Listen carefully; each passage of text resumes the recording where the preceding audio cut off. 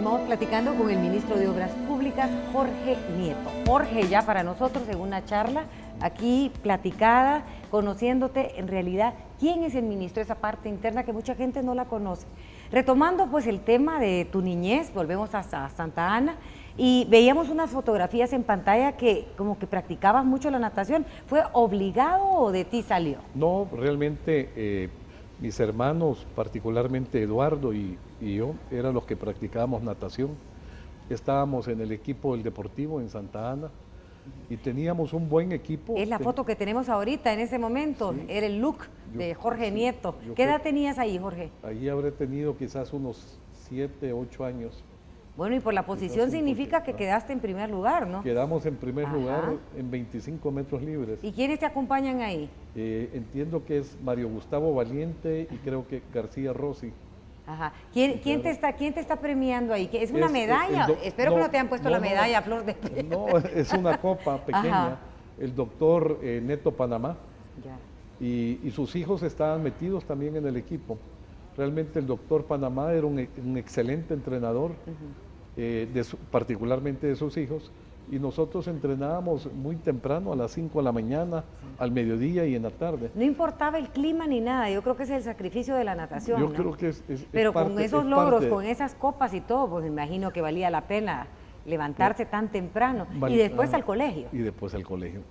Pero sí valía la pena. Realmente eh, yo posteriormente no seguimos adelante, pero recuerdo a Ana María Monedero, a los Monederos, a los Panamá, eh, que eran parte del equipo, a los Moreno, que eran parte del equipo, que veníamos a San Salvador a competir aquí, a los Valientes, a los Rivera. ¿Y siempre eran ganadores ya con, eh, cuando venían ya a la capital? Bueno, no, no siempre, pero, pero teníamos gente muy buena como eh, esta niña Ana María Monedero, que, realmente destacaba bastante, bastante ¿Y bien. ¿Y representaron alguna, en alguna ocasión al país fuera? No, no, no, Era a nivel, en esos tiempos era a nivel nacional. Era, a nivel nacional.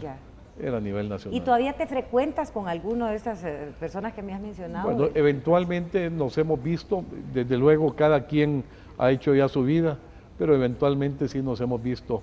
Eh, y sobre todo porque nos hemos venido a San Salvador y aunque ellos o algunos de ellos estén aquí, yo creo que cada quien en su, su vida. Eh, bueno, otra de las partes importantes de tu niñez, que a nadie se le olvida, incluso guarda recuerdos, y hablando de recuerdos, porque tengo unas fotografías ahí que te quiero presentar, dicen que recordar es volver a vivir.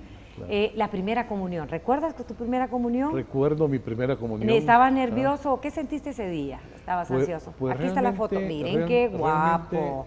Ese, en mi primera comunión lo que, lo que más recuerdo es que sabíamos que era un acto, un sacramento muy, muy especial que íbamos a recibir a, Dios por primera vez a través de la comunión.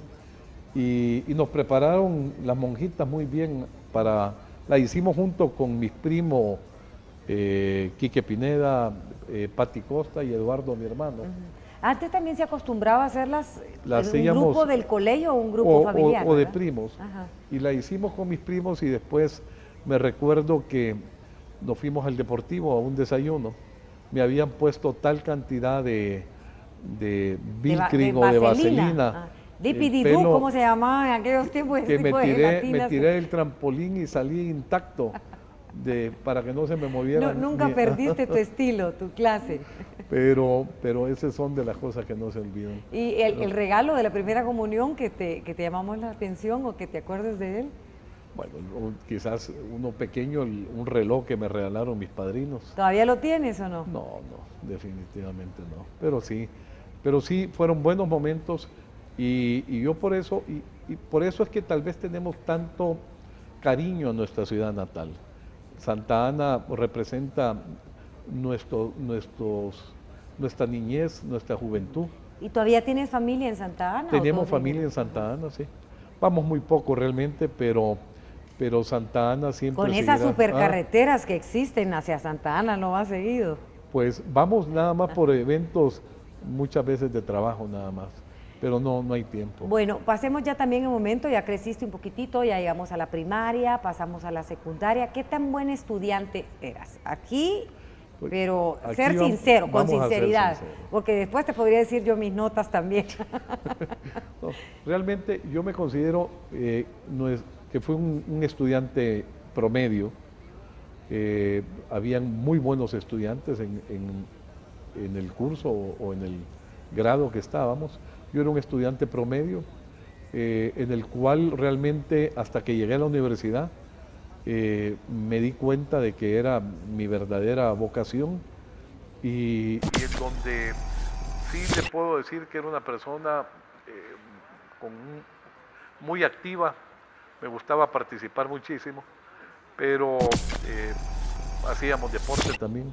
Aparte de la natación, eh, hacías básquetbol aprovechando tu estatura o algo, ¿no? Pero sí, pero, pero no, eh, no con el nivel, el nivel que lo hacen mis hijos o lo hicieron mis hijos en su momento.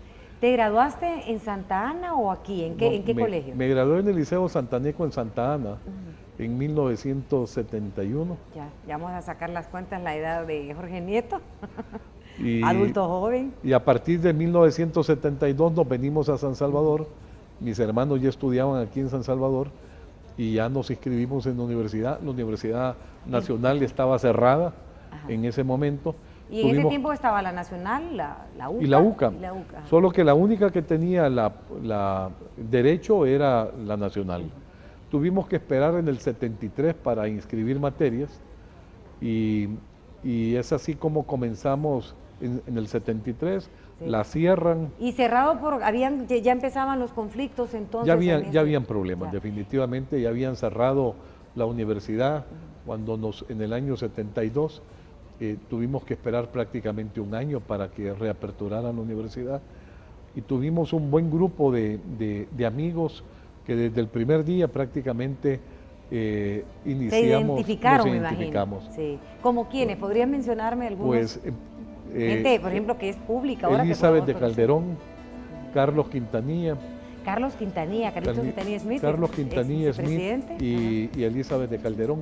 Y aquí hay una anécdota, una anécdota que quiero comentarte. ¿Me puedes ¿Ah? eh, mantener esa anécdota? Porque nos vamos a ir un corte porque me interesa saber por ahí me contó un pajarito que como que tuvieron que ver algo entre el casamiento ahí con él y, su esposo.